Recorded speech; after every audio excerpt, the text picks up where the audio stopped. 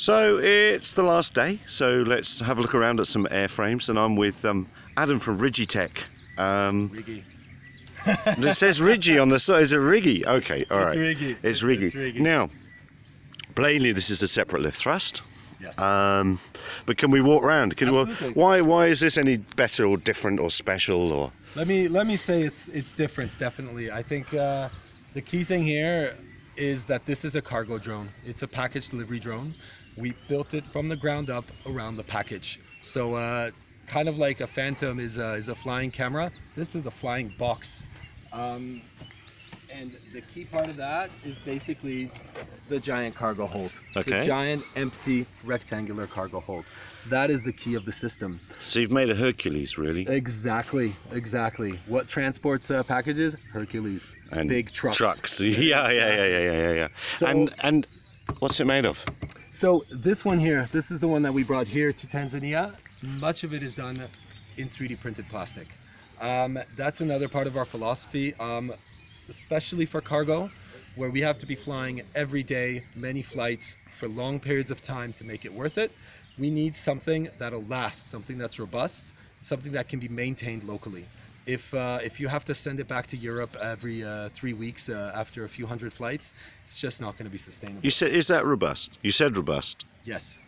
How do you know it's robust? How do we know it's robust? Um, like any other drone company, uh, we have uh, we've been doing quite a bit of testing, and that testing doesn't always uh, result in successful uh, flights, as you can imagine. Um, So, but well, for instance, this airframe then, how, how many hours has this airframe got? I mean, it's not too dented and knocked. Uh, this one, um, this airframe, couple uh, couple hundred hours, I think. Okay. Um, And and with the sh- with the same body. with much of the same body. And I think you know what though, that's that's kind of the key, right? That's, Okay. Uh, that dents happen. Um, uh, things do break. Uh, if you have to again send it back to get it fixed, it doesn't work. If you can print a part and whatever was broken, you just kind of replace it yourself on site. Uh, this thing will be sustainable. That's what we've been doing. Um, so yeah, there's a few parts. So have you got have you got sacrificial bits then, as it were, on here? Have you worked to that point where you know that'll generally break, so we'll make that part easy to replace? Of course, of course. I think, um, I mean, uh, things that break usually it's a hard landing or something like that. So the whole bottom of the drone is um, is made to be replaced, made to be essentially snapped in and out. Um, that also helps us adapt to different kinds of payloads that might be needed in the future. Uh, this one here, you see that the front opens and the package is put into the front. This is for applications where you can land and somebody can take something out and put something back in. Sometimes you're not going to want the drone to land, so we can make another bottom with uh, with an automatic opening flap, and then the drone hovers a couple meters off the ground. You open, the package falls out, and the drone leaves. Um, all of that is possible because the payload bay is on the bottom. It's in the middle. It could be swapped out. And so we said it's got this big payload bay. How do you measure things by uh, volume or by weight that you carry? What what sort of things can you carry with this? And Well- how far? eh, All the numbers. How high? How fast?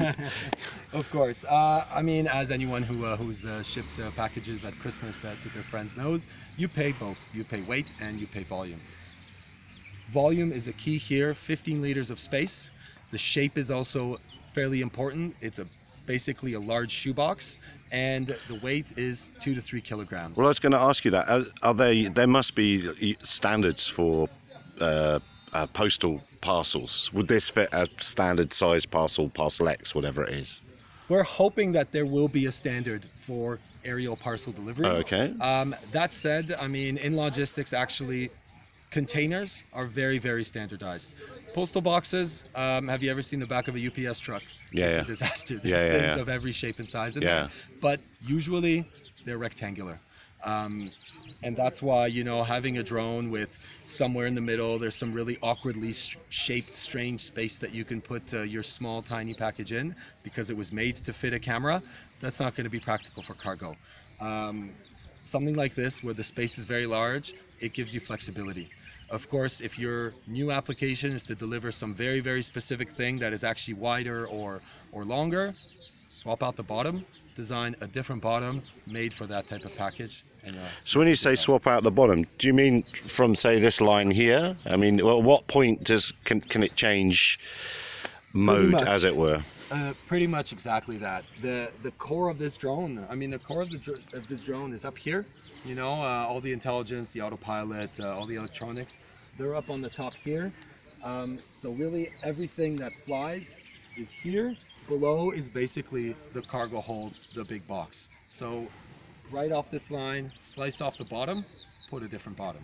So what's the model then? Start producing these in by the thousand and have them everywhere. Uh, of course, uh, you know, everyone's got a dream. Uh, we're going to scale up and build thousands and all that. I think what's actually more important in cargo delivery is to be flying by the thousands of hours of flights with a drone. Um, it's not going to make sense. Just explain that again a little bit to me. I wasn't. What, Sorry. what do you mean by it? No, no, it's say- okay. I'm, let I'm me say that again. I think in cargo delivery, what's key is not necessarily to have millions of drones everywhere, but it's for those drones to be flying. okay. Um, Yeah. Mapping drones, maybe you buy one, you fly it three times a month uh, for your project, and then you spend the rest of your time digitizing and all of this. Cargo drones, they're only useful. That's a really good point, isn't it? It's it's uh, like airline, isn't it? 747s. They're only making money if they fly for something like 20 hours out of the 24 hours a day. exactly. So it's That's gotta keep going. That's really the model. It needs to be flying. It needs to be going back and forth every day. So this is the market that's going to test reliability properly. Absolutely. Reliability, maintainability. Um, if you have to, you know, get rid of your, uh, uh, replace your drone every 100 flights, and I know uh, a lot of mapping drones, they have one, 200 flights uh, if it's a good quality one, Mm, a couple dozen if it's Mm. a bad quality one. mm. We hope that we're doing a couple dozen flights a day. Um, in a month, we're averaging, we're thinking about 100 flights a month for, for But a you- drone. you've got to have people at the end of wherever the end is ready to put something in it to go back again. I mean, it's a bit more than. Uh, Exactly. I think uh, you, that's also a fantastic point. Is this is a drone? Sure, everybody likes the physical thing, but that's not really the key here. Actually, um, if you're doing cargo delivery, you really have to rethink the entire workflow from scratch. Um, uh, compared to mapping, compared to imagery, where you have one person here with their drone, the drone takes off, they see it, then it comes back at the same place. Cargo, radically different because you have one location and you have a second location. What does that mean? Not only are there two people, those two people both need to know what's happening. Um, they need to communicate with the drone. So one ground station on one radio is not going to work. Air traffic control needs to know where it is as well because this drone is going uh, 50, 80 kilometers away. Um, how are they going to know? On the, you know, it can't be the person sitting here sending the drone. It has to be connected. You have to so, be so is this almost the pointless part of the piece? I know it's got to work. It's got to be reliable. You've got to make it. Yeah. It's the more important piece. Is the how does it stay in? Okay, you got, okay, you make it perfectly so it can do a thousand hours, and that's all good. Yeah. But that's no good if there's no system within which it can operate. Exactly. Uh, does DHL say our entire business is based on trucks? Is based on motorcycles? Of course not. Um, you know, the, the UPS brown truck is maybe very identifiable and it's great for branding, but it's not the truck that makes their business. It's logistics. It's the way they shuffle packages all over the world in different places. Um, that's what we're working on is integrating in logistics systems, thinking cargo first, operations, moving moving these packages all around. That's the key, and the software you build to make that efficient is the key. Yeah. Then this, uh, you know, this month, this is the drone. Yes, and then the next- it's going to be a smaller one uh, with, uh, uh, with you know, a multi-copter style. The year after that, it might be a giant cargo drone. Don't hold me to that roadmap, huh? but Yeah, yeah, yeah, yeah. it's not the vehicle that's. It's still got to work within a system. It's the software. It's Yeah. the system. It's it's the, the the operational philosophy around cargo drones. Cargo first. Mm, so, okay, so the, the, the body's basically 3D printed, and it, this must be foam, isn't it? Cut foam in there, yeah.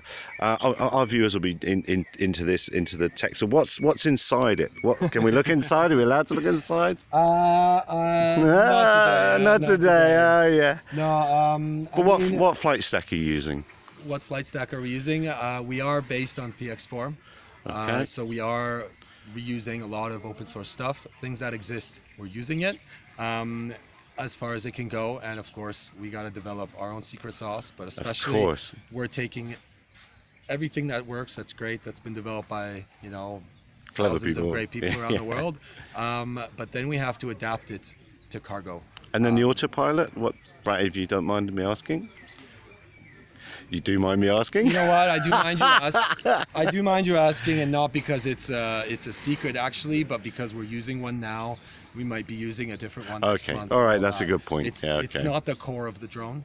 Um, it's a it's a, an autopilot that uh, that can run PX4, right? So Okay, okay. there's but- I wouldn't say there's anything revolutionary on that side. But immediately, so if, if you're driving the company towards the sort of backbone system behind the, the actuality of delivery, and you want to have lots of these in Africa, couldn't you be very benevolent and open source the airframe design, and then allow people to? Uh, to, to, to join your system and then that that would be where you'd get your return I don't think it's benevolence, to be honest. I think it's it's almost key, actually.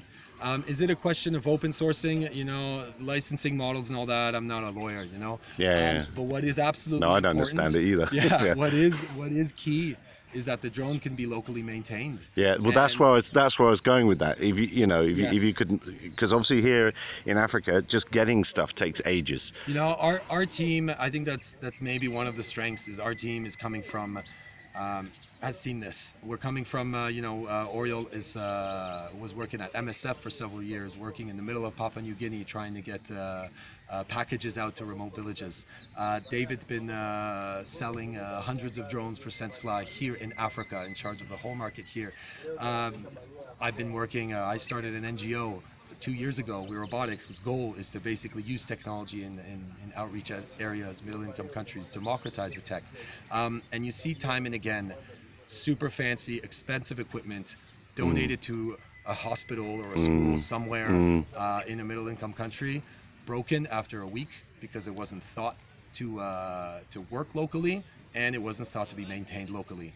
So we're completely changing that. These drones, they're made to be repaired here. They're made to be manufactured here as much as we can, um, so that they stay here. We can't ship them back to Switzerland every uh, few hour, a few days of operation. They need to stay here. They need to fly. The parts need to be available, and if those parts, you know, if we have to uh, be shipping parts all over the world, maybe it makes more sense to just have a 3D printer here and have them built here. mm. Well, I mean, you, you might get that use case where some that, as you suggest, that special bit of cargo that's shaped like a whatever needs that special pod, and you just make the pod here rather than waiting all the time for it to come from overseas. And Exactly. I mean, 3D printing is not, you know, you can't pretend it's going to completely change. Uh, it's going to be the only way that you build anything. Um, I think it is a, it does give us certain new opportunities, though. Well, Um, I think um, I guess people uh, overseas that watch this will be thinking, yeah, but why then wouldn't you just make a wood or something like that? But get, and I'll jump in here, but Hmm. just getting that wood here is hard. Even getting that is hard. So Yeah. in some ways, getting reels of plastic is easier than than than, than moving those sheets of wood and pl- Yeah. balsa and ply and all that sort of thing. In some places it is. In other places, you know, wood might be easier to get. Um, in other places, what uh, you know, other markets, what they want is the sleek carbon fiber, uh, super, uh, super fancy drone, and and we'll have that. Um, this is really just a, it's a showcase here in Tanzania, uh, in the Mwanza area.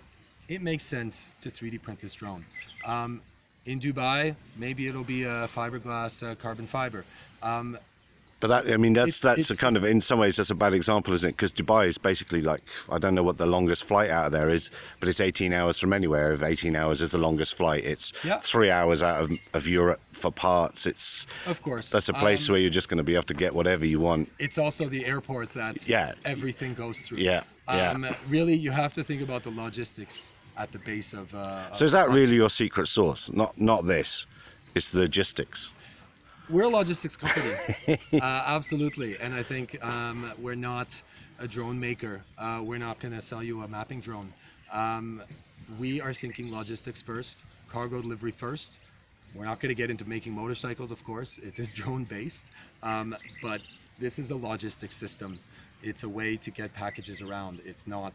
Um, it's not a drone, I'd say.